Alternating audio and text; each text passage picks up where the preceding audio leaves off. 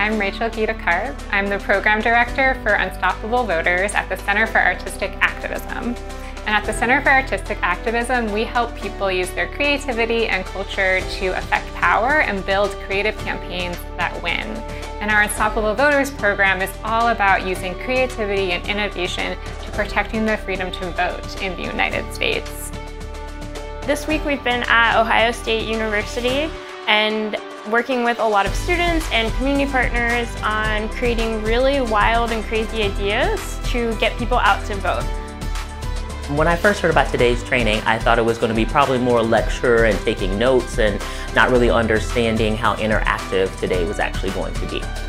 We did some really fun prototyping today where they actually were using like art supplies, cardboard, paper, markers, scissors, and tape to create these prototypes for real life so we could see them.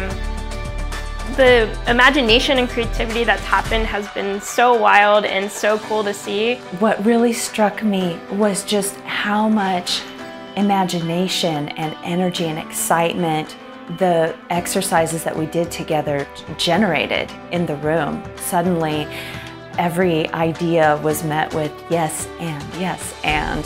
I think this training gives you confidence and also the foundation of what it means to be an activist and an artist at the same time.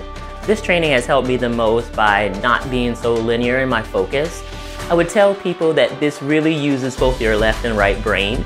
Uh, sometimes when I'm doing this work, I only think from my own perspective and my experiences, and I'm very passionate about voting and voter rights. But sometimes I need to put myself in somebody else's uh, perspective and meet them where they are, so it's been really helpful.